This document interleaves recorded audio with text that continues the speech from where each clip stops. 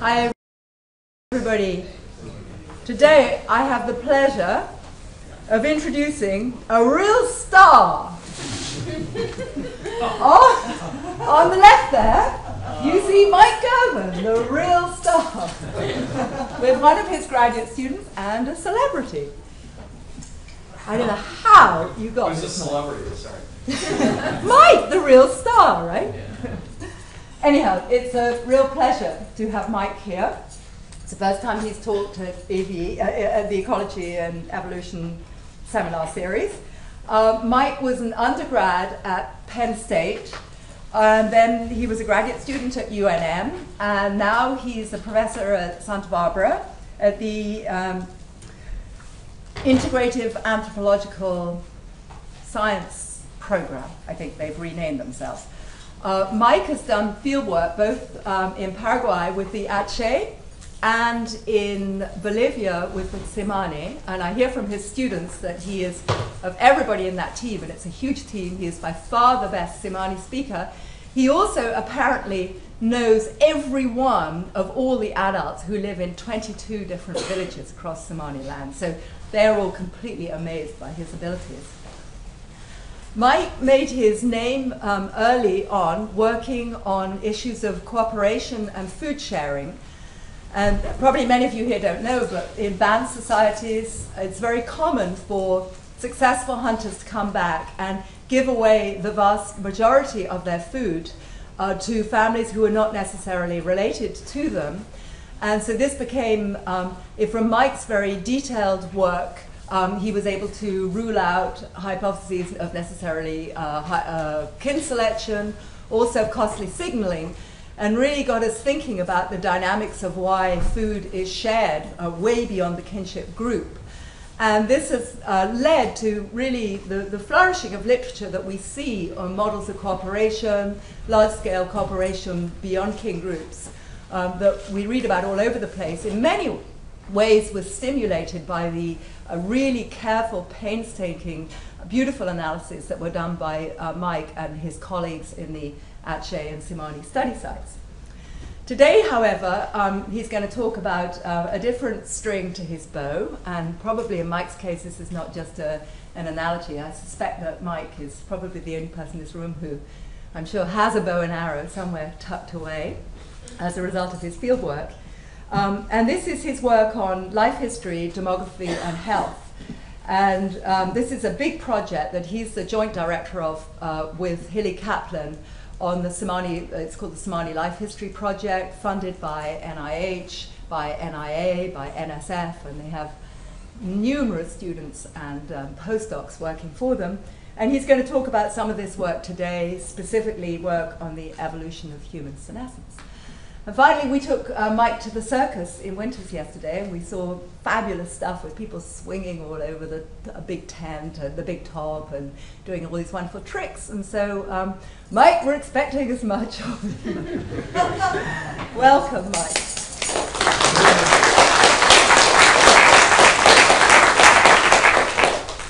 Well, thank you, and thank you everyone for coming out. Uh, that's that's the Bolivian Michael Jackson. Uh, I figure, yeah. Monique told me yesterday that after seeing the circus, that my talk has to be better than the, the equivalent of, what was it, the spinning satellite move? You know, with the having this cord attached to the the high wire and spinning around many many times. But I might be able to break out a moonwalk if necessary. Uh, but okay. This is another reason why Facebook is dangerous. Uh, oh, that you inserted that in there. Oh, that's going to be filmed, isn't it? All right.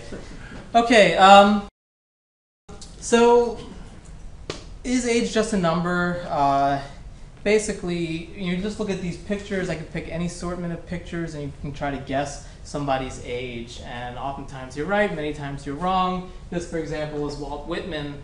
Uh, how old does he look? He looks 70s. Look 70s. I bet he was 50s though. 42. Yeah. Yeah, so 42. Uh, and these folks are some Tsimane that are uh, in their uh, 71. The guy's 71 and she's 73. Um, and so there's a lot of variability just when you look at somebody. Uh, but getting more precise, you can pick your favorite biomarker, measure it over time, and you can get these individual slopes. And you can see there's a whole lot of action. Uh, this was a study done in Japan over 10 years. And, you know, yeah, there's an increasing slope with age, but within each of these age categories, there's a lot of variability. And trying to understand the variability is, is something I want to try to talk about today. And part of my take, most of the work done on humans and looking at aging is done at national level, developed societies, um, where you measure a whole bunch of biomarkers on people, maybe follow up uh, a year, five years later, uh, measure biomarkers again, see who lives, who dies. And so looking at this in the small scale society context has never really been done uh, extensively. And so trying to get a window into what health and aging might look like, uh, our best bet is to look in some of these societies that mirror some of the conditions of our ancestral past. So the, the short answer, of how long do humans live under traditional conditions? Uh, I'll tell you, it's, it's, I believe it's the 70s, about seven decades. Uh, and I can show you a little bit of information to support that. If we take all the data that exists on extant hunter-gatherer populations, where careful demographic uh, methods have been applied to try to age people, and you can take some of that data, make some life tables, and try to look at how long people live. And so this isn't an unbiased sample by any means because you can only use the data that exists and that have been actively studied. So many more are in South America than in other places. We don't have anything really from North America. Uh, but if you look at, as a whole, in all these societies where you didn't have medical attention, you didn't have supermarkets, uh, you didn't have any other amenities of modern life, and you get a similar pattern. This is the modal age of death. So saying you survived to age 15, just look at the frequency distribution of deaths. And what you tend to find is around the, the seventh decade of life, there's a mode here so that most people are, the majority of deaths are focused in that area. Now, if you look at that yellow curve, that was actually the US from 2002. And so in more developed societies today, you see about a decade uh, difference, uh, so that this, this modal age of death seems shifted about 10 years or so. Now, interestingly, whether you look at hunter-gatherers, whether you look at uh, forager farmers, so people living like hunter-gatherers but also doing some slash and burn uh, horticulture, uh, or hunter-gatherers that have acculturated, or you can take uh, our European data, the oldest data that exists from 1751, uh, and they pretty much overlap quite a bit. I mean, there's a little bit of variability, but for the most part, they're showing similar patterns of about seven decades, even though they're living under very different conditions. And so if we contrast uh, a hunter-gatherer, so taking the average of all of our hunter-gatherer groups, uh, hunter-gatherer mortality profile uh, would say really good conditions, like say the U.S. in 2004, and we can just take the ratio, and what you see is, well, first of all, the, the life expectancy at birth being about in the low 30s for hunter-gatherers, and say 78 for the U.S. Most of you probably know this already, but it doesn't mean that everyone lives to 32 and then dies uh, infant and child mortality is very high, and so that average is a bit deceiving in terms of thinking about lifespan when we really think about how long do people can they live. And so if you look at that ratio, you can see there's a huge difference early in life. So that uh, infants are about 200 times more likely to die if they're a hunter-gatherer, and it drops down pretty rapidly so that by age 15, a hunter-gatherer is about 14 times more likely to die than an American. By age 45, that number drops down to 7, and then by 65, it's still substantial, but much reduced, only three times more likely. So that there is somewhat of a convergence towards uh, almost a fixed pattern built into the life course. And so I'm going to be going a little bit quickly because I'm excited to show you some new stuff.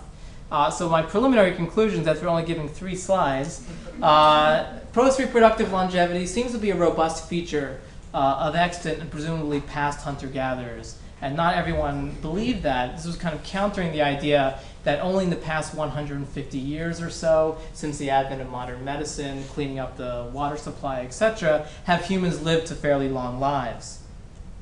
Uh, life expectancies for modern forager and presumably ancestral populations are low, mostly due to very high infant child mortality. Most survival improvements with acculturation occur at young and early adult ages. Age specific life expectancies tend to converge at older ages. Uh, modal ages of adult deaths for hunter gatherers is in about seven decades long. So, all this is showing kind of convergent evidence of some kind of uh, lifespan that is built into the, the, the human adaptive pattern. Uh, I didn't really get into this, we can get into it in Q&A. Paleodemographic estimates that often show low child and really high adult mortality for early humans. It doesn't match any modern pattern, and every couple of years there's a new version of some of these old life tables, and they're starting to look more and more like the, uh, the life tables coming out of the ethnographic cases of the hunter-gatherers like I showed here. All right, so moving. Oh, I don't know what happened to that. Uh, anyway, uh, has the rate of aging itself changed over the course of human history? Well, our ability to do this without a time machine is really uh, it's really difficult, but we can make some loose inferences just based on looking at mortality, and that's why I call it actuarial aging as opposed to what you might get by looking at actual physiology. Uh, and you can loosely define it as some rate of mortality increase in a population. Uh, there's different ways of operationalizing it. Uh, some really strict ways, like the, the rate that mortality doubles uh, with age. Uh, you can look at the slope of the mortality curve at a certain point. Uh, Robert Ricklefs has come up with another measure that basically just uses some of these components from an exponentially increasing part of the mortality function now the part here that just to emphasize is we can decouple uh, what's called extrinsic mortality. Loosely here we can call that the age-independent component of mortality. Uh, separate that from what we can call senescent mortality, which is that age-dependent, the increasing part of mortality later in life. And so we can make a general hypothesis uh, that George Williams uh, stated uh, back in the 50s that greater extrinsic mortality should associate with a higher rate of senescence. And it makes sense if all else equal, as I learned this morning, if you're in Malawi and you're likely to get hit by, uh, by lightning, so you might not plan too much for the future, and so why invest in a soma that's going to last a really long time if chances are you're not going to be around to, to reap whatever benefits of, of later life there might be. So you might expect there to be a positive relationship there. Uh, empirical support is somewhat mixed. Uh, across different um, species of mammals. Uh, the theoretical prediction has some limitations. Uh, it's, this has never been tested with humans. And what I want to just talk about briefly right now, um, the forager stuff is a little bit, uh, there's some controversy there. And so I'm not going to get into it right now, but I'll look at a cleaner data set, which is looking at, uh, let's just take Sweden, where I said we had our earliest uh, mortality data on Sweden. So if we look back into the 1750s up till, these are cohorts, uh, up until the 1900s, we can separate out that age-independent mortality from the increasing mortality. And so here I had two of these aging measures, that mortality rate doubling time, and, and W, which is a, the, the Ricklefs measure. Uh, doesn't, the important point is to know that if it's higher, that means higher rate of aging, whereas the mortality rate doubling time, if it's higher, that means slower aging because it's taking longer for the mortality rate to double. And M0 here is that extrinsic mortality rate. So it's a little bit hairy in early period here. Uh, this is you know the age of pestilence and famine, uh, according to Omran, but it's also the case where the data are, are shoddier. Uh, but you can see beyond that into the 1800s, 1900s, the extrinsic mortality is declining pretty systematically amongst men and women. But what's harder to see and what's a little bit more robust is that the, the mortality rate doubling time isn't changing so much, and that if anything, it's actually declining at late ages or in later cohorts, which would suggest faster aging, whereas this other measure is showing uh, slower aging. So depending on which measure you use, you get a somewhat different kind of outcome. So we're somewhat limited by what we can say when we focus on mortality, and it gets it gets caught in these debates about what's the appropriate measure to use, what's the appropriate statistical model to use. And so ultimately, what we want to get at, we can't really get at, I think, just focusing on mortality.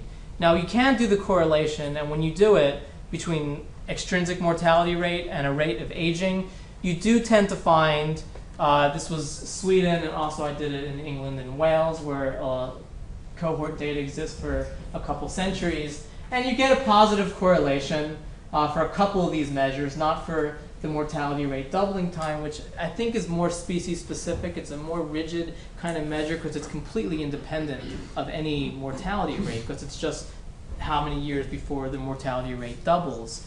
Uh, so there's a positive correlation, but I don't think that is necessarily uh, evidence for actual evolution. So I'll get to that in a minute. It's the last point on my conclusions part two, uh, saying actuarial aging rates are similar amongst hunter-gatherers and some of our earliest data we have on European samples, so the Sweden and England. Aging appears to have slowed, uh, but not uniformly over the past several centuries. Uh, and it has slowed somewhat in sync with declining extrinsic mortality, but to argue that selection has occurred over just 10 generations uh, is, is somewhat speculative. Um, people seem to reach similar level of senescent mortality about 10 years later now compared with recent past. Uh, based on this mortality data, the aging rates in men are somewhat faster than among women, and that I didn't show it, but that's true also in the subsistence populations. Uh, so consistent with an argument made by Tim Clutton-Brock and colleagues about the more slightly more polygynous societies, you see greater differences in uh, mortality rates um, between males and females and, and lifespan. Uh, but the empirical measures and the analytical methods do matter. Um, and finally, so as I mentioned, no evidence of selection per se, but what this does indicate, now taking this at the individual level, that the kinds of changes that are lowering extrinsic mortality do have uh, implications at the individual level for later aging when individuals within those cohorts, so for example, if you eliminate uh, pathogens and you can immunize people, so you're essentially lowering extrinsic mortality, and those individuals, when they become uh, much older, uh, potentially could be much in much better condition and could potentially age much uh, more slowly but there's going to be some kind of limits. And so this, this plays into big questions about, you know, uh, even though life expectancy is increasing fairly linearly, uh, is that linear increase in life expectancy going to continue for much longer? Um, okay, so that ends, I think, the first part where I focused mostly on the demographic perspectives on longevity and now I want to get into some of the aspects that are uh, based on some of the, the field research to ask, you know, what does health and aging look like in a traditional population? Uh, and mostly here what I'm going to focus on, how does exposure to infections, viruses, and parasites shape investments in growth and immune function, so early in life, and then ultimately uh, immunosenescence, uh, the ability to repair uh, damaged cells, etc over the life course. And so then what will be the consequence of this lifelong assault uh, on the body um, in terms of your frailty, your disability, morbidity, and ultimately mortality. Okay, so this, as, as Monique said, uh, for about a decade now, working in, conju- in conjoint with, with Hilly Kaplan uh, and, and colleagues at the University of New Mexico, this project within Bolivia trying to get uh, a real deep insight in one society with the, the idea down the road to, to be able to create an exportable package that we can then look at aging in different societies that vary in fundamental ways. Uh, so populations that vary in their diet, in their activity level, in their pathogen exposure, etc., and then be able to compare across certain metrics uh, to look at what the implications are for aging. So just in case, I'll go through quickly in case you're not familiar with the, the field site. This is in central lowland Bolivia. Uh, most Tsimane villages live along this Maniqui River. So it's a very fishing-based uh, population. All Tsimane pretty much learn how to fish and actively fish. Uh, they do have high omega-3 to omega-6 ratio, by the way. It was, uh, we just looked at that in milk uh, this past year. And so uh, heavy fish input in the diet. Uh, hunting as well is very important. All the classic neotropical mammals, Tsimane hunt. So tapir, for example, armadillo, collared peccary, uh, the various species of monkeys. This is a coatimundi and uh, uh, uh, collared anteater at the top. The bulk of the calories, though, two thirds of the calories are actually coming from people's fields. So sweet manioc that's that's made into fermented beverage, uh, paya, plantains are the big staple, uh, and then more recently some rice uh, and corn is also used in conjunction with uh, sweet manioc to make uh, chicha, the fermented beer. Uh, most of production and distribution occurs within the context of, of nuclear families and extended families, groups of families living together in clusters. And so life is very social. People depend on each other for many different things, uh, not just for, for producing food and distributing food, but also taking care of each other during illness. Um, and so this, this is, was kind of the transition from studying sharing and how people deal with risk to understanding bigger questions about uh, how the ability to deal with risk on longer time scales uh, is kind of an inherent part of the human life history and, and how that actually plays out in practice. And so, for example, uh, many of you probably read uh, Sarah's book, uh, and, and she's talked a lot about cooperative breeding in humans. And so here, uh, just you know, illustrate, yes, with every child, you've got mothers, you've got grandmothers, you've got aunts, you've got fathers, you've got older daughters, lots of individuals that are directly taking care of children uh, and feeding them and protecting them, etc. And over the course of the past 10 years, uh, I've had a, a, biomedical project that kind of goes along with a lot of the anthropological work that go, does detailed medical histories of of pretty much every Tsimane that we've encountered. So saying I know everyone in 22 villages, we're now working in 85 villages. Uh, I don't know very many people in those other 60 villages. Um, but we do much more extensive stuff with people that are, our old category is 40 and up. Uh, so you can imagine, because people say, why do you work with the Tsimane? You know, aren't there, you know, hunter-gatherers that are more isolated? There are, there's not that many, uh, but the few that are might have maybe one or two people who are over the age of 60. So you're fairly limited by what you can actually um, do in a population like that. And certainly when you're looking at the mortality profiles, uh, just by adding a little bit of uh, slash and burn doesn't seem to change the overall mortality profile uh, from hunter-gatherers a whole lot.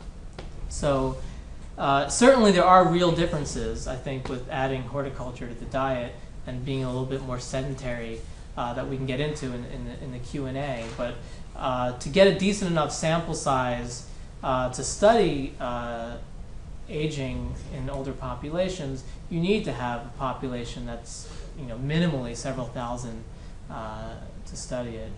And so just kind of a picture to show you what it's like setting up labs in the field. It's, it's dreadful. Uh, very difficult, um, but there's still quite a bit you can do um, with you know truck batteries and uh, liquid nitrogen tanks and uh, etc. So the, a summary here of, of, the kind of ecology, Ch Tsimane inhabit a very highly infectious environment you know, on any particular uh, random visit. Uh, about 8 out of 10 Tsimane will have some type of intestinal helminth. So ask her if you're interested in the types. It's mostly hookworm, uh, roundworm, some whipworm, so the trichuris. Uh, three out of 10 or so might have a respiratory infection, uh, less so some gastrointestinal infection, uh, and some skin fungal infections. And with this high level of infectious exposure, uh, under these high infection conditions, having a strong immune function, immune defense, you can imagine would be uh, obviously selected for. And so having a strong acute phase, so your innate inflammatory response, uh, would be particularly selected for. Uh, and yet inflammation, as I'll soon talk about, is implicated uh, in most diseases, uh, chronic diseases at late ages. So it's one of those potentially pleiotropic things where uh, what can benefit you early in life and therefore is actively selected can come back to haunt you later in life. So in a simple very simplified schematic of life history trade-offs. So you can have a total budget that you're allocating to your multiple uh, functions of maintenance, reproduction, growth, and development. Uh, you can go further with reproduction and growth and development. But what I want to go with is the maintenance aspect, the immune defense and repair.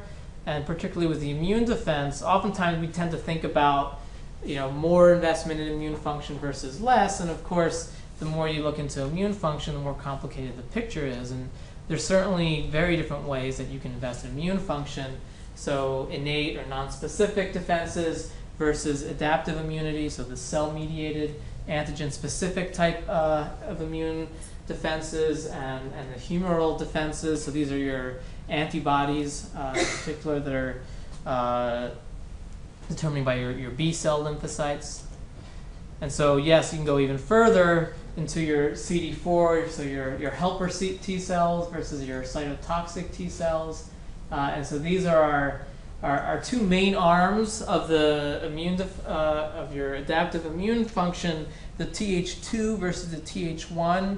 And Th1 you can just think of as your intracellular defenses, so against viruses and bacteria for example, whereas your Th2, this is your allergies and your helminths, so your worms. And so in populations that are heavily parasitized by macroparasites, you would expect them to be somewhat Th2 biased. Uh, in your B cells, all your, your antibodies, and I'm going to be talking about IgE, so immunoglobulin E, these are, this is the one particularly implicated in defense against uh, worms. So now I want to kind of lay out different ways that I think pathogen exposure are impacting the life course. And so by looking at a population that has fairly heavy uh, uh, burden of parasites. And so rather than just go leaping right for the aging part, I want to show how investment uh, to kind of protect against uh, you know, massive damage from parasites, how it's costly uh, early in life. And we see trade-offs with uh, with growth. And so, and not just focusing on the, the short stature of these populations, uh, which is one potential you know, obvious outcome, but we can go further than that. So IgEs are immunoglobulin level E, so the one I said that is implicated in, in defense against uh, macroparasites, particularly helminths. And so NHANES is a, is a US study. And so the, the Tsimane have levels of IgE that's about like 160 times greater than NHANES. So if you went to a hospital and they saw this on a readout, you know, they would probably freak out. It's really, really high. So even the Shuar, which is another group, uh, they're in Ecuador, uh, also in the Amazon, but a little bit more acculturated, some more access to modern medicine. They have pretty high IgE too, but it's, it's you know, about six times lower than what the Tsimane levels are. So what's the cost, the implications of having such high levels of IgE early in life? Well, what we can, what we did, uh, this is with Aaron Blackwell, who's currently postdocing with me, was we just looked at the age profile of uh, onset of the levels of IgE. This is on a logarithmic scale, and so you can see it's much lower in the in the U.S. sample. Then there's the Shuar and there's the Tsimane, and the Tsimane. Let's see, put, yeah, the little line there that so the peak age is earliest in the population that has the highest level of exposure, as you might expect. You want to get those defenses up as quickly as possible. And then we see, so it's about age 7 in Tsimane, then about age 10 in the Shuar, and about age 17 uh, in the US. And so the earliest kind of peak uh, in the population with the highest uh, level of exposure, this has been referred to as the peak shift. Um, in, in when immune defenses are, well, actually, hasn't really been applied to immune defenses. It's been applied mostly to just peak burden of different parasites. And so we can actually look, well, what's the age profile of actually having parasites? Does it actually match this kind of increase in uh, the, the antibody investment? And so what you can see is around that age 7 to 8 or so, so up at the top, that was the the IgE, so the antibody uh, levels. And then here's hookworm, roundworm, threadworm, and any worm. And for the most part, it's they're, they're pretty similar. Some of them are right on, like roundworm and threadworm. uh, whereas hookworm actually seems to increase in prevalence uh, across the lifespan uh, as opposed to having this early peak, which other parasites tend to have. But for the most part, there's a lot of exposure early on, and so there's strong reason to be able to prime those defenses earlier rather than later.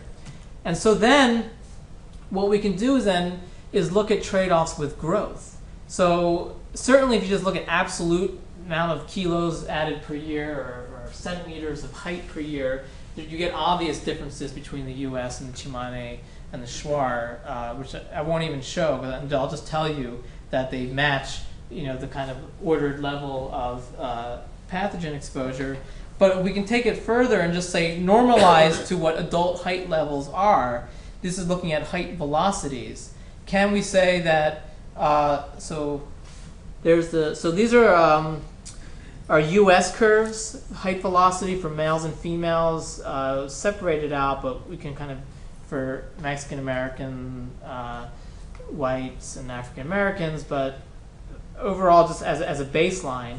And we add the Shuar, and they, during the period of um, when all this IgE investment is going on, there's reduced growth uh, velocity, even when these are normalized. So there's a lot of flexibility within you know the, the pre-adult uh, growth trajectories, and so uh, looking at variations in the shape. So are there dips during the period where you expect all this early uh, immune investment uh, and then catch-up growth later on?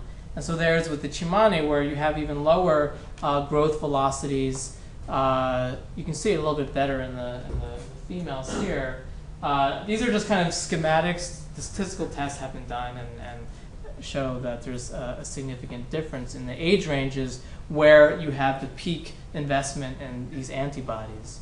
So there's real cost to this.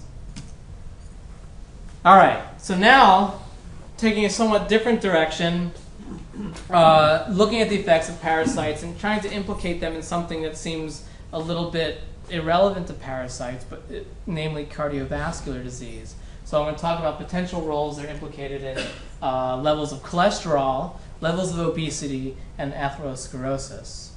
So the Tsimane, on many levels, have very few obvious risk factors. So this is the prevalence of obesity, you know, your BMI greater than 30, and here's your total cholesterol uh, being really high, so higher than 240.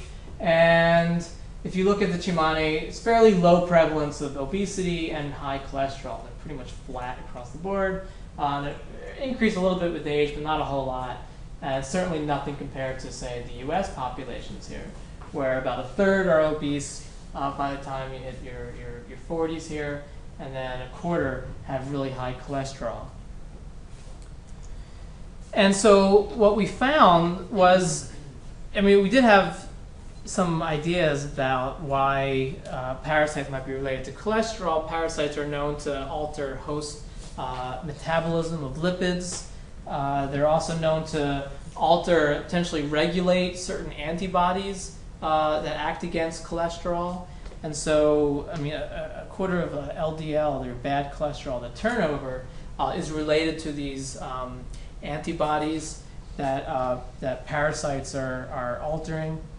And so, what we did was look at uh, the extent to which individuals had parasites and also indications, indicators of parasites.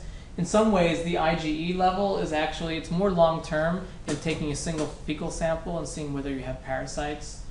Because uh, also the gold standard for doing fecal analysis is a series of several samples, and uh, due to logistics, we only were able to take one sample. So looking at uh, IgE and looking at eosinophils, so these are your, your, your white blood cell components that are also implicated in, in defense against parasites. And what we saw is people that had higher levels of eosinophils, uh, IgE, uh, two other measures of inflammation, so they're not necessarily directly related to um, worms per se, but other types of infections uh, also showed uh, these were in the predicted direction, but they weren't all significant.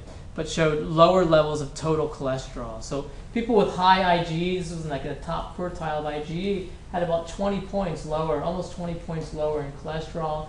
Eosinophils that had about, uh, depending on how you define this, was the, the fourth quartile, also had uh, just um, about seven uh, points lower in their cholesterol. And so this was pretty suggestive because the effect was similar magnitude of the things that you would expect to matter, like BMI, for example, uh, or, or sex differences, which are commonly touted. So that was one kind of effect. And then the other effect is uh, in looking at cardiovascular disease, uh, about half of uh, heart attacks, for example, occur amongst people who have you know fairly normal levels of cholesterol. And so what you know, you go to your doctor, and if you have any risk factors, they might do a C-reactive protein test. So even if you're on the high end of normal, that that uh, is predictive of, uh, of cardiovascular events later in life. And so uh, the idea is that inflammation itself is implicated. So this is your innate response that we said was be very adaptive in high pathogen environments. But inflammation is implicated in all stages of atherosclerosis. And so any marker of inflammation tends to be fairly predictive of cardiovascular events uh, and stroke events. And these aren't just predictors. It's a little bit controversial, but there's good evidence that they're actually causally implicated in the process, not just indicators of something else. And so what you'd, you'd expect is that in an infectious environment like the Tsimane environment, that you would have high indicators of these inflammatory markers. Uh, so, so just taking the one popular case here is C-reactive protein. And so by age, in the US at least, by your teenage years, 15% uh, of North Americans already show signs of early coronary atherosclerosis. Uh, by the time you hit 60, majority of Westerners have fully developed atherosclerosis. In fact, it's so common that atherosclerosis is pretty much has been defined as a normal part of aging in all parts of the modern world. There was just a study that came out, uh, forget the journal, uh, it was the biggest collection organized of 53 uh, Egyptian mummies that were analyzed by seven different cardiologists, and at least half showed signs of probable, if not definite, atherosclerosis. Again, taken as evidence that this is a fairly uh, universal aspect of aging. And so when you certainly, when you look at another, at the C-reactive protein, if you again look at, say, the Tsimane and a couple other populations, here's our US here, and the Shuar, and then Italy, just because we had the data. And yeah, at all ages, for the most part, Tsimane show higher levels of C-reactive protein. So higher exposure, as you would expect, leading to higher levels of an inflammatory response and chronic exposure to inflammation.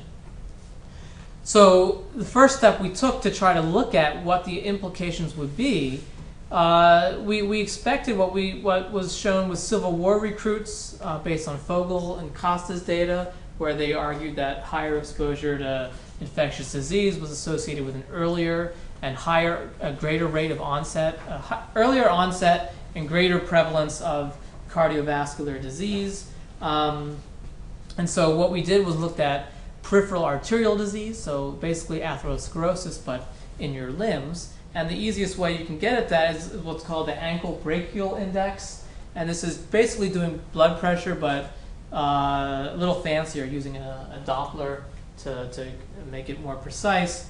And it's looking at differential blood pressure in the ankle, uh, in the tibial arteries, and in the brachial arteries. And as you can imagine, if there's blockage going on, then there should be a difference in the blood pressure. And the standard is anything less than 0.9 is indicative of peripheral arterial disease. And so by now we've actually done this with over like 500 adults over the age of 40. And, and what we found, here's our 0.9 uh, and not a single Tsimane so far is under the, the, the 0.9 marker. And this hasn't been observed anywhere. So any, any population where it's been looked at, not only do you see some positive prevalence, but it's also fairly steeply increasing with age. So this is our first indication that, wow, maybe atherosclerosis doesn't exist.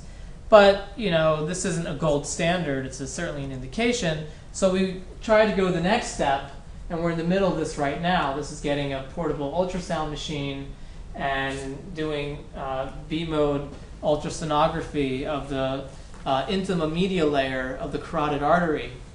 And so you we can actually look directly at the presence of arterial plaques, and you can also look at the thickness of the intima media layer of, of the arteries to see, in a more kind of gold standard kind of way, whether there is uh, evidence of atherosclerosis. And so far, we haven't seen much evidence of plaques. This is really preliminary because we've only had about 10 samples analyzed because it costs like $150 to analyze uh, one sample because they do like 95 measurements along this artery and um, trying to work around that to do that um, more cheaply. But the, the picture is getting a little more complicated because I mean, there's different methods in different populations, but what we can see, at least the thing I would just say from this, is that the Tsimane don't look terribly different from other populations. This, I think, is all U.S. with different ethnic groups. Uh, it seems there seems to be potentially age-related thickening, uh, and it doesn't look terribly different from other populations. And given the small sample sizes, uh, at least it seems that just by this, that maybe Tsimane aren't terribly different. But then it raises the question: how can you have some types of arterial aging without the manifestation of actual full-blown atherosclerosis, plaque disrupture that leads to uh, the, the kind of coronary and stroke cerebrovascular events that we're so familiar with.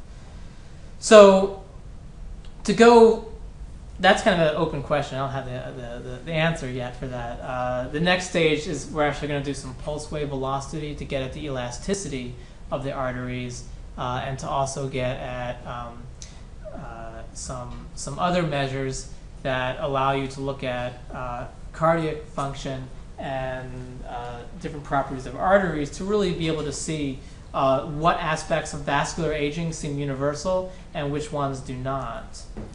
And so this, I actually wanted to put this in here because this just came out a couple weeks ago in, in, a science article. It was done mostly with, with mice, but it was actually showing that eosinophils, and particularly because of uh, parasite introducement, uh, introducing parasites uh, into these mice, uh, eosinophils were the things that the white blood cell components that were implicated in uh, the regulation of a, a, certain cytokine called interleukin 4, which was regulating the types of uh, macrophages, so the immune cell components that essentially were downstream regulating metabolism.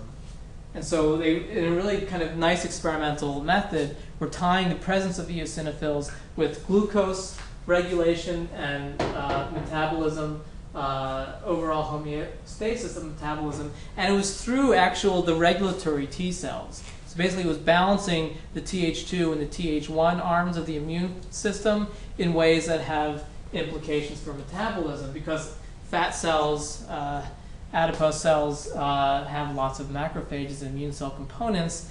And so with, without the presence of eosinophils, you get dysregulation.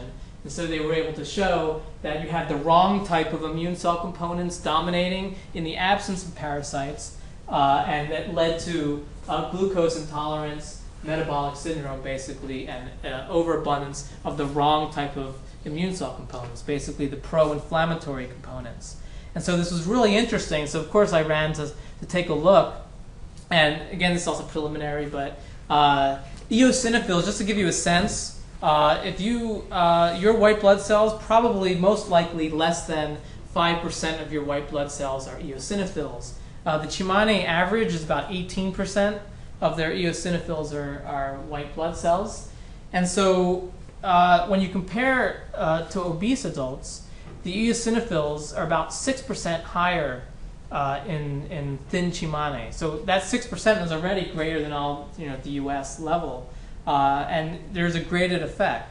So it's 1.6% higher in overweight Tsimane, 3% higher in normal Tsimane, uh, normal by, by BMI. So just to show you what the, that looks like based on the regression equations, uh, here's our thin individuals, normal based on uh, BMI, overweight, and obese. And this is in, in higher and lower pathogen environments uh, amongst the Tsimane. So the individuals living closer to town across the board have lower eosinophils, but you still see this kind of graded effect. so that uh, the thinner individuals have the highest eosinophils. And so the next step is to take a look at the more proximate pathways to see if this isn't just some spurious correlation, but if there's some deeper way in which parasites are helping to regulate metabolism uh, in ways that don't lead to the kinds of downstream metabolic syndrome, glucose, uh, uh, uh, insulin um, resistance, etc. Uh, uh, how am I doing with time? Who's going to watch? Five. All right, I'm gonna skip the. It was kind of a cool stat. Well, yeah, there's obesity across the board. Uh, this was a recent paper in, in Proceedings of Royal Society showing in almost every domesticated animal or lab rat, lab mice that people there's, where there's data, there's evidence for obesity in the past five decades. So you know they don't have vending machines, they don't have uh, overabundance of soda drinking and TV watching. Uh, some of it's probably due to you know we overeat so we overfeed our animals. But even in these these these study animals where they've had pretty much controlled diets that haven't changed over the past five decades, the one thing that has uh, changed more so is uh, the level of pathogen exposure in, in some of these lab animals. So it's potential idea that could be uh, that the standard risk factors might not be particular to the human case, but we might be seeing it elsewhere. All right, so what's going on here? Um, well, so I, I don't want to dismiss the standard risk factors. Uh, you know, low bad cholesterol, uh, low levels of obesity, high physical activity, uh, don't cigarette, don't smoke. You know, all those things probably do matter, uh, but uh, it's it's unclear why they always matter and under what conditions they don't always matter. So the somewhat novel, a little bit more speculative area uh, that I'm trying to focus on by taking advantage of the fact that uh, the population I'm working with do have high levels of parasites uh, is that one, parasites could be mediating cholesterol levels uh, as well as obesity, uh, as I mentioned through eosinophils and certain interleukins. but the parasites also, the existence leads to polarized Th2 responses. Remember, these were the, the Helminth based uh, arm of the immune system. And it's not just that they're having worms shifts the immune system towards Th2, it's also helping to regulate the immune system. So the idea about the hygiene hypothesis and without parasites, your, your, uh, your immune system freaks out. It's not that it just freaks out, but it's that the, uh, it, the immune system gets dysregulated in a way that you're seeing more asthma, more allergies, and other autoimmune diseases. And so partly this could be response due to low levels of uh, even just having LDL, the bad cholesterol, in, in and of itself isn't a danger unless it gets oxidized. Uh, and if it doesn't get oxidized, then it's potentially, it's not just that it accumulates and then just blocks everything. I mean, often it has to disrupt and it has to break. And the way things cleave uh, impacts also, uh, ultimately whether or not you have a coronary or cerebrovascular event. And so the way that LDL can get oxidized and the way that the immune system itself is implicated. I mean, I don't want to go so far as to say that cardiovascular disease is an autoimmune disease, but your own immune system is implicated uh, severely uh, in, in these kinds of coronary events. And the way that the, um, the collagen content gets uh, disrupted by all these monocytes that are affecting these macrophages, kind of attacking the, the clunk uh, within the artery. And so that oxidation process has a runaway effect, much more so if your immune system is shifted towards the Th1. Uh, well, it's also another possibility. Uh, the, the, the more anti inflammatory cytokines are protecting the vessel walls from certain injuries, so that kind of along with this, both could be two possible reasons why uh, parasites help to be cardioprotective. Now, it's important to understand that in a lot of populations, there's so many things varying that this is why there's no data really that exists to, to look at these kinds of things. You know, in many populations, you get rid of parasites, you clean up the water supply, you're getting immunized, you're at the same time you're becoming more sedentary, you're eating crappier diets, uh, so there's so many things varying simultaneously that which is why everyone seems to have their pet theory for what really matters in terms of uh, chronic disease. All right, I'm gonna just very briefly say one or two things because I know I'm, running out of. Uh, I was warned. I, I did. I did take out 15 slides because I thought I had more time, uh, but uh, just because this is really brand new and really kind of cool, uh, I'll skip that. Uh, and this is the, the, the basic kind of layman's version is pondering the possibility that if your immune system is working really hard uh, because of this uh, chronic exposure to acute infections, then to what extent is the is your immune system just burning out in a way, to kind of just crudely put it? And I was initially struck with this kind of interesting result about leukocytes, so your white blood cells that uh, that's the prevalence of high leukocytes. But if you look at actual leukocyte levels, that in the U in the U.S. they tend to be fairly flat across ages. Uh, there's some action, but not a whole lot of idea of, of of massive declines. Whereas in the Tsimane, we saw big drops in uh, lymphocytes, eosinophils, and neutrophils. And of course, just seeing circulating levels of these things, it's hard to know if is this really a declining ability to mount a response? Is it maybe exposure is changing? And so, how do you decouple the two? And so, this has been the kind of much more recent stuff that just started in the past couple months. Uh, and in order to do this, we had to move operations to our to a town uh, to set up operations. And actually, now instead of us going to the Tsimane, we bring the Tsimane to us. And so we got a, a flow cytometer here, and uh, we're able to do some uh, fancier things that require uh, more constant electricity. You know, you don't want to zap the really really expensive machine uh, by having it hooked up to a truck battery. And so uh, results are starting to come in that are showing. Uh, this was showing that there is an, not only is there uh, both. Well, let me skip that because we got less time. When you look at this was taking white blood cells and then stimulating them with different types of antigens. Uh, and the, the three types of antigens it's a bacterial mitogen lipopolysaccharide, H1N1, a virus, and then ascaris, so a helminth worm, and looking at what happens with respect to all these different cytokines. And these, I'm sorry if you can't see it, 40 to 50 years of age, 50 to 60, and 60 plus. Again, very preliminary small samples. But what we're initially seeing is that there's a decline. So these are controlled. It's the antigen exposure and looking at the ability to mount a response. And we're seeing declining ability across the board in many of these different cytokines. Now, it tends, what it looks to be the case is that the Th1 oriented cytokines are declining more rapidly than the Th2, such that you're seeing a, a increasing Th2 to Th1 ratio with age. And so what that ultimately means, well, let's let's skip that one and go, well, all right, if you have helminths, if you have helminths, we can look at what happens when we stimulate uh, your white blood cells with different types of antigens. And this was this idea that it's often been observed if you have worms, your ability to mount a response to a vaccine is somewhat compromised. And what we are actually seeing, so when in the H1N1 case, so if we stimulate with ascaris, it doesn't have really any effect, consistent effect that's significant.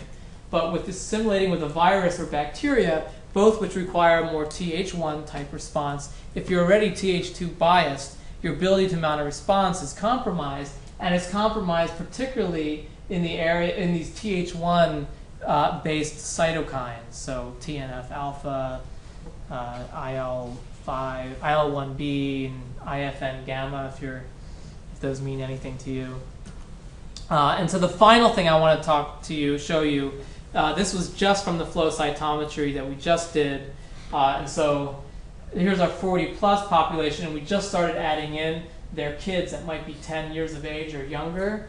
And so what you can see, this is the percent, whether we're looking at CD4, so your helper T cells, or your CD8, your cytotoxic killer cells, T cells, uh, so both types of lymphocytes, if you look at the percent that are naive, so naive means they're, they're mature, but they haven't they don't have any specific antigen that they're keyed to to remembering. Uh, so in other words, this is a good measure of your ability to mount a response to something new. Uh, is heavily compromised So the cytotoxic, actually there's a decent amount of variability, even in our small sample.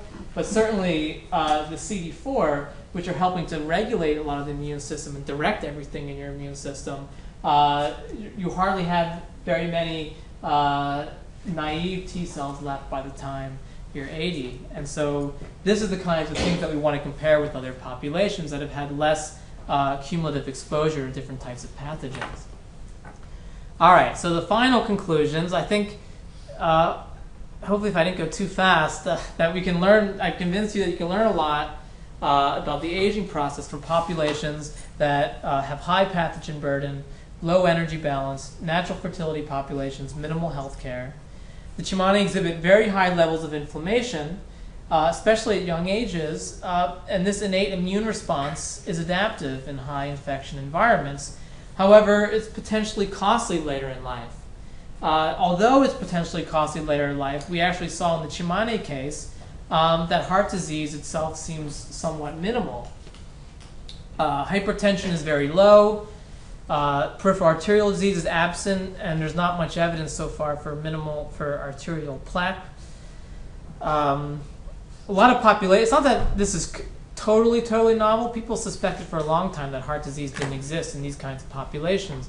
But part of the problem with that is, you know, you show up at a, at a place for a couple days, and if the morbidity, if the case mortality rate, fatality rate is really high, then when you have heart disease, maybe you just die. And so if you have a quick medical trip, you're unlikely to see the cases of people with really high hypertension or uh, uh, really clogged arteries, and, and so uh, being able to see, you know, over 10 years and having hardly any cases of actual mortality from these cases is really suggestive, and then being able to go in depth uh, with some uh, the, the fancy technology to try to verify that that's what's going on uh, inside the body is has been really instructive.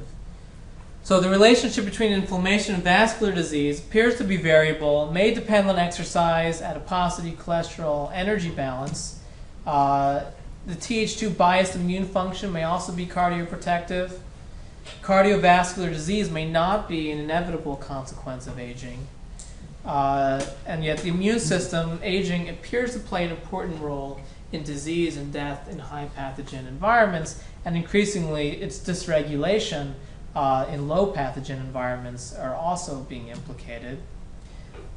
And the extent and character, of course, of immunosenescence, as I was last showing, depends on current and cumulative exposure. And so, despite only the robust surviving to late ages, uh, senescence, or at least immunosenescence, uh, if, you, if I had to be pushed to make a claim, I'd say that, yeah, it does seem to be a bit more rapid in groups uh, in the Tsimane and potentially by extension other similar types of groups. So thank you very much for, for your patience and if I haven't gone over too much, I'm, I'd be happy to take questions. Uh, thank you.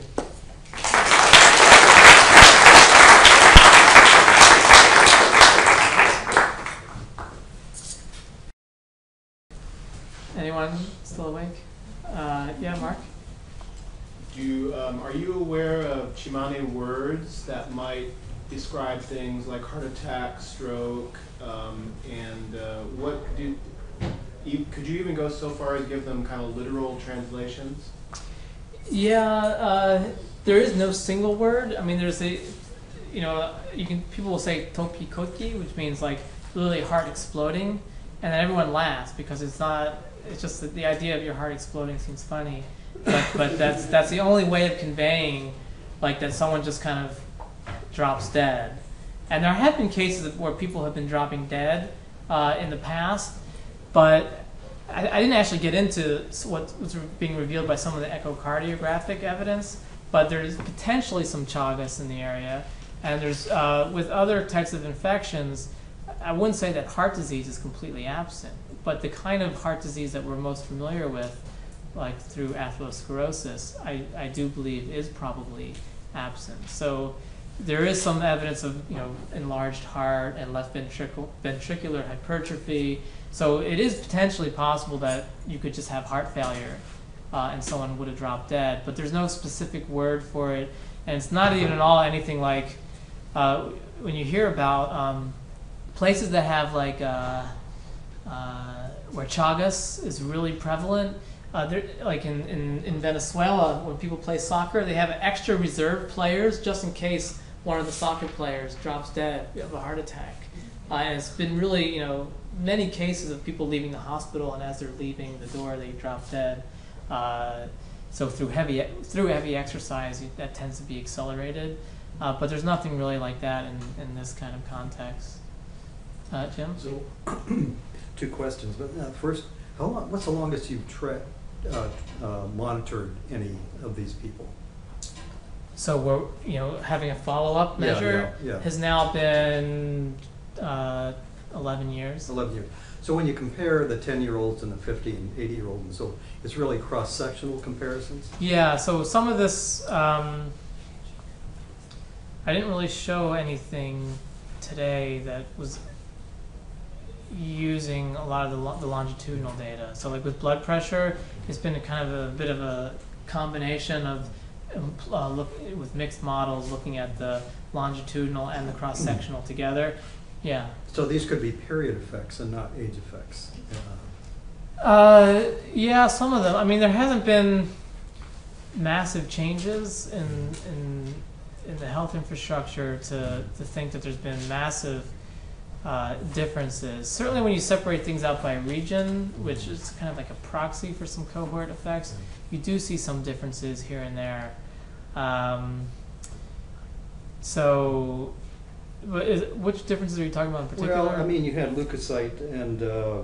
yeah, that's cross sectional. That's cross-sectional. That was all yeah. right. But I mean, if you have a US, when you compare the US, presumably that's much more longitudinal and so forth. But anyway, that, that's fine. Well, I- actually, I- no. For the, I mean, some of that stuff with the flow Uh-huh. cytometry is, is, is sort of a bit fancy. So Mm-hmm. I think the only studies I've really seen, most of the stuff with flow cytometry is all is done with HIV patients because Okay. of the T cell uh, populations being so severely affected, and so those are, those tend to be longitudinal in the sense of we look at it at time one and we look at whether they're living or dead, dead at time two, not changes in the cell populations.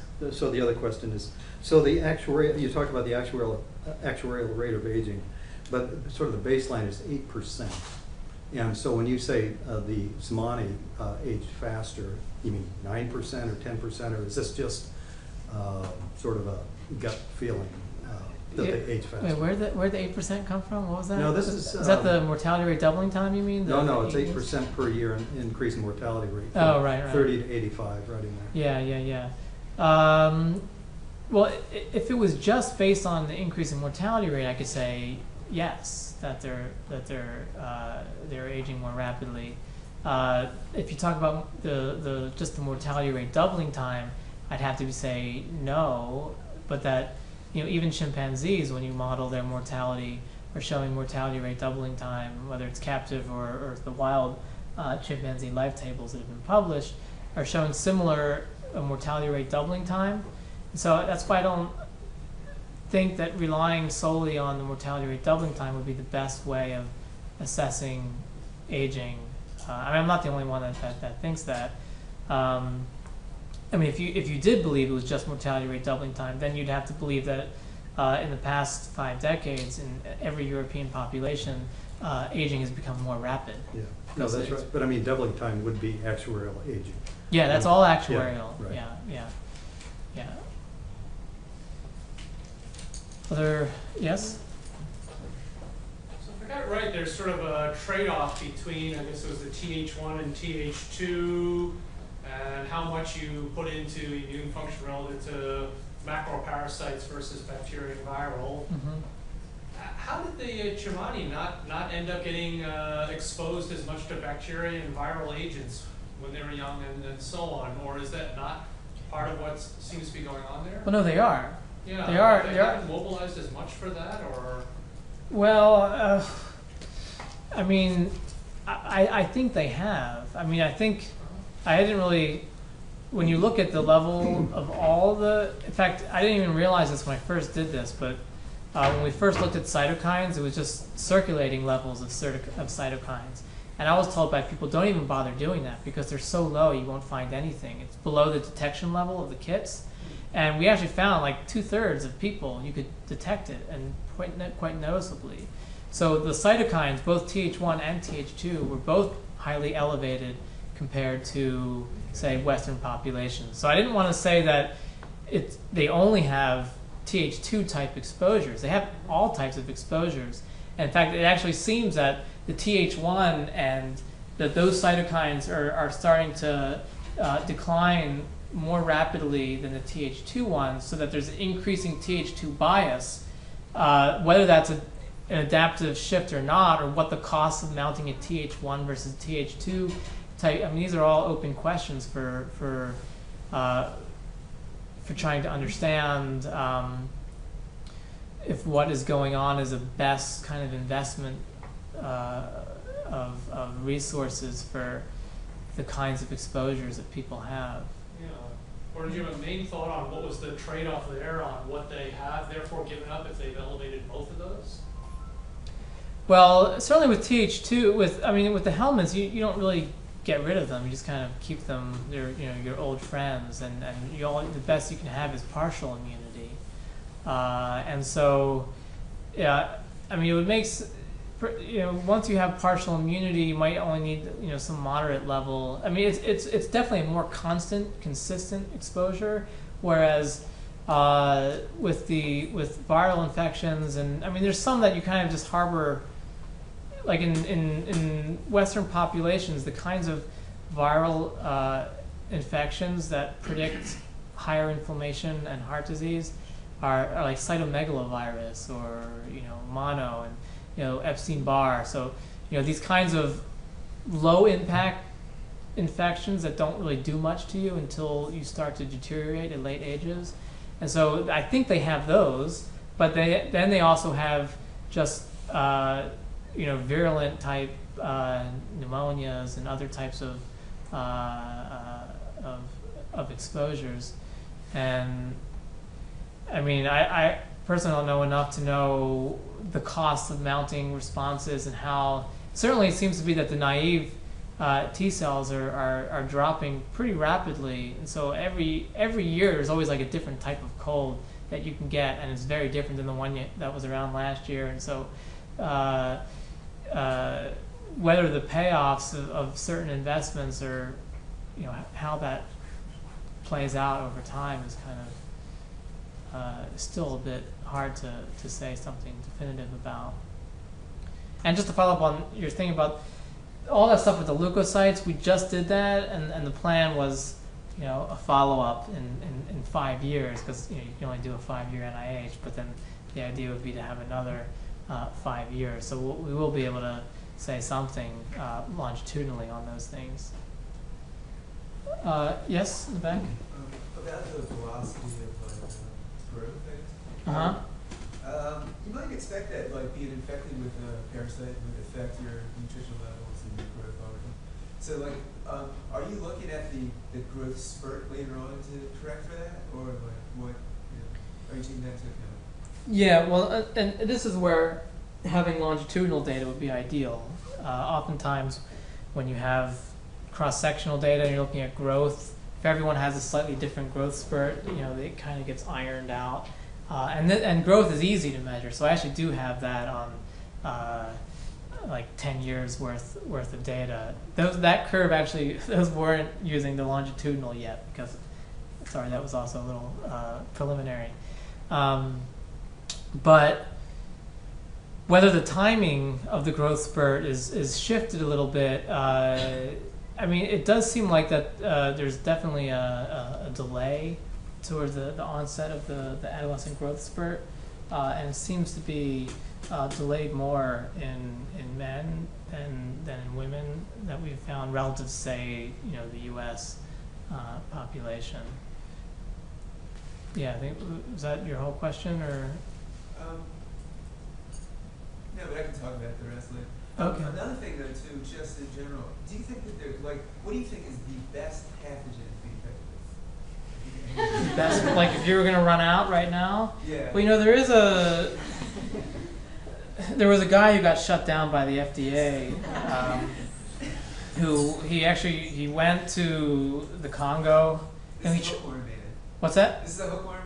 Yeah, this is Yeah. Dr. Hookworm, and you know, and there's there's numerous people like that, and they swear that. Oh, those of you who aren't familiar with you know Hookworm Man, uh, you know he had uh, what did he have?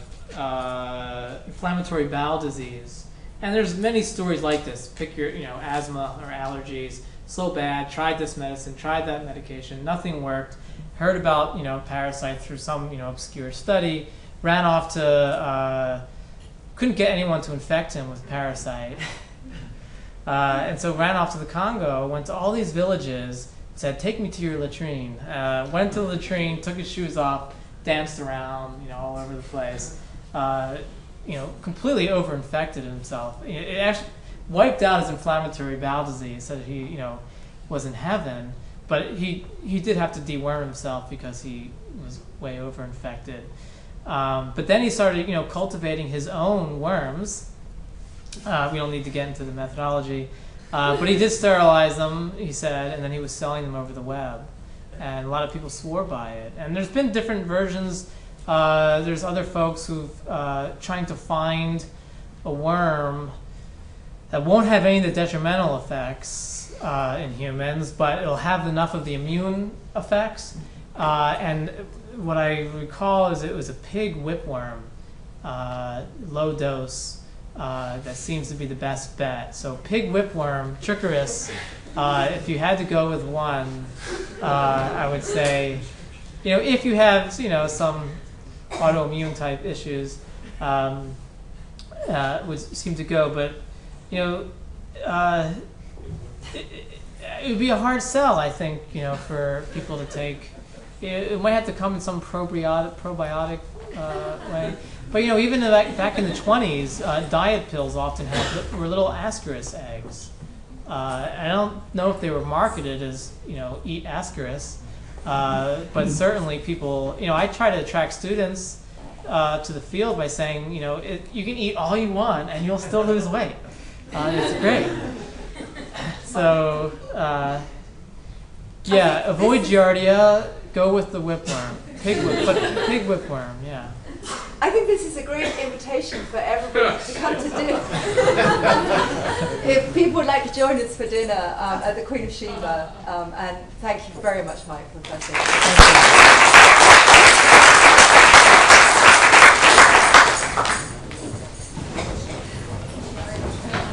Good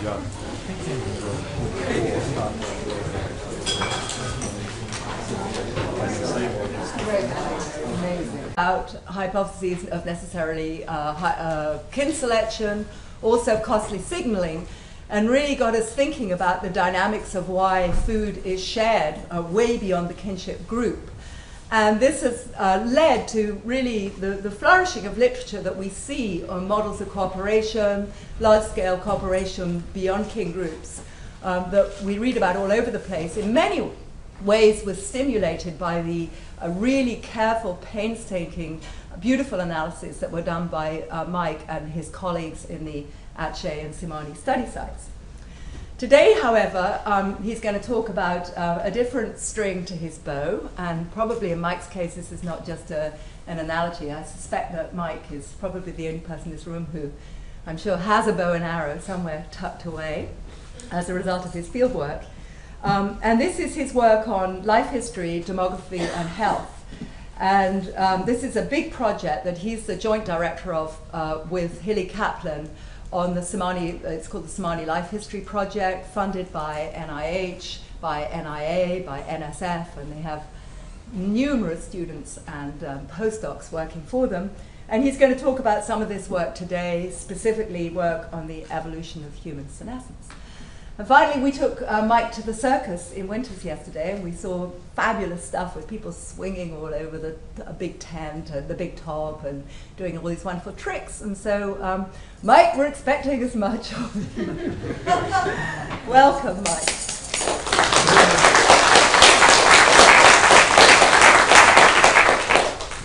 Well, thank you, and thank you everyone for coming out. Uh, that's that's the Bolivian Michael Jackson.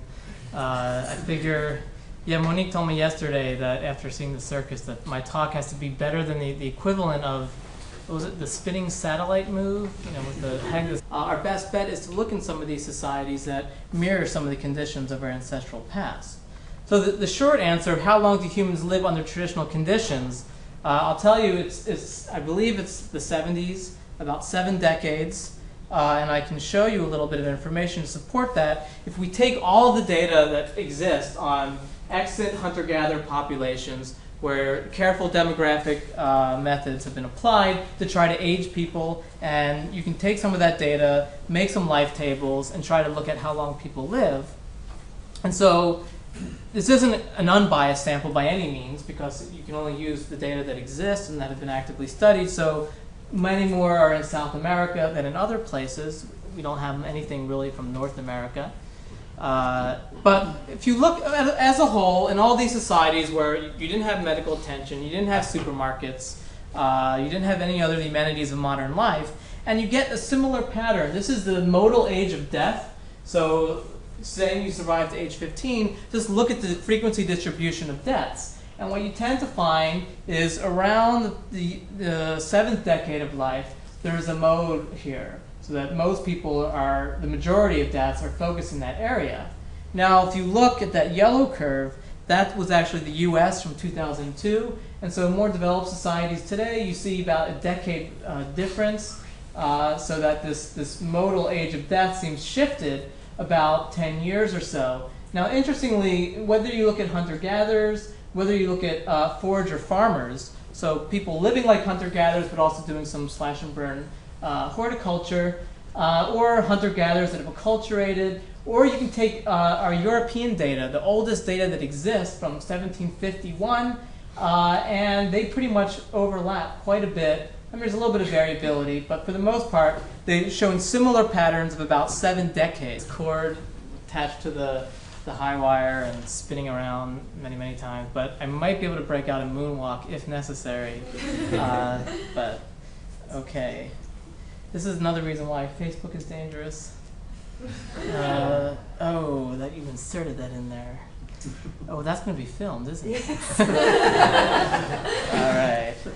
Okay. Um, so, is age just a number? Uh, basically, you just look at these pictures. I could pick any assortment of pictures, and you can try to guess somebody's age. And oftentimes you're right, many times you're wrong. This, for example, is Walt Whitman. Uh, how old does he look? He looks 70s. Look 70s. I bet he was 50s though. 42. Yeah. Yeah, so 42. Uh, and these folks are some Tsimane that are uh, in their uh, 71. The guy's 71 and she's 73. Um, and so there's a lot of variability just when you look at somebody. Uh, but getting more precise, you can pick your favorite biomarker, measure it over time, and you can get these individual slopes. And you can see there's a whole lot of action. Uh, this was a study done in Japan over 10 years. And, you know, yeah, there's an increasing slope with age, but within each of these age categories, there's a lot of variability. And trying to understand the variability is, is something I want to try to talk about today. And part of my take, most of the work done on humans and looking at aging is done at national level, developed societies, um, where you measure a whole bunch of biomarkers on people, maybe follow up uh, a year, five to five years later, uh, measure biomarkers again, and see who lives, who dies. And so looking at this in the small scale society context has never really been done uh, extensively. And so trying to get a window into what health and aging might look like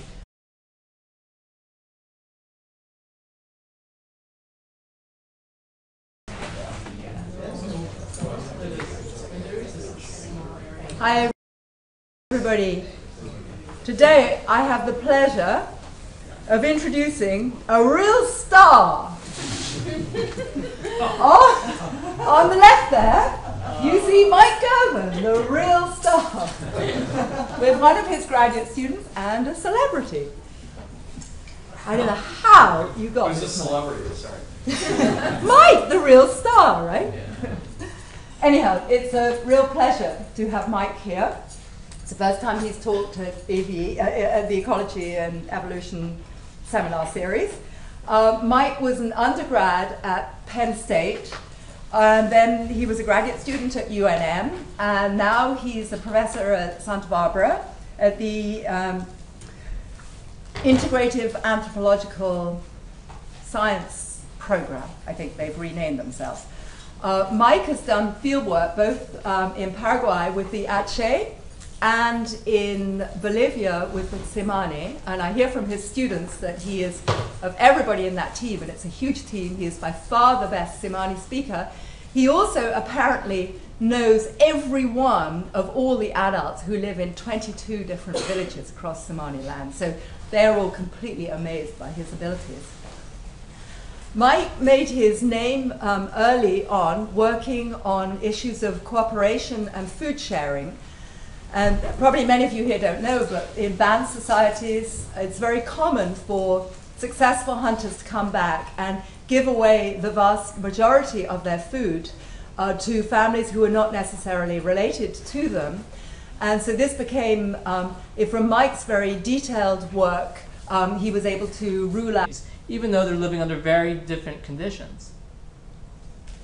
And so if we contrast uh, a hunter-gatherer, so taking the average of all of our hunter-gatherer groups, a hunter-gatherer mortality profile uh, with, say, really good conditions, like, say, the U.S. in 2004, and we can just take the ratio, and what you see is, well, first of all, the, the life expectancy at birth being about in the low 30s for hunter-gatherers, and say 78 for the U.S., most of you probably know this already, but it doesn't mean that everyone lives to 32 and then dies. Uh, infant and child mortality is very high, and so that average is a bit deceiving in terms of thinking about lifespan when we really think about how long do people can they live.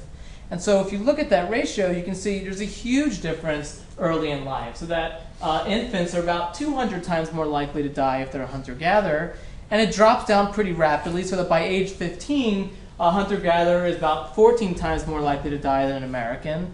By age 45, that number drops down to 7, and then by 65, it's still substantial, but much reduced, only three times more likely. So that there is somewhat of a convergence towards uh, almost a fixed pattern built into the life course. And so I'm going to be going a little bit quickly because I'm excited to show you some new stuff. Uh, so my preliminary conclusions, after only giving three slides, uh, post-reproductive longevity seems to be a robust feature uh, of extant and presumably past hunter-gatherers. And not everyone believed that. This was kind of countering the idea that only in the past 150 years or so, since the advent of modern medicine, cleaning up the water supply, etc., have humans lived to fairly long lives. Uh, life expectancies for modern forager and presumably ancestral populations are low, mostly due to very high infant child mortality. Most survival improvements with acculturation occur at young and early adult age.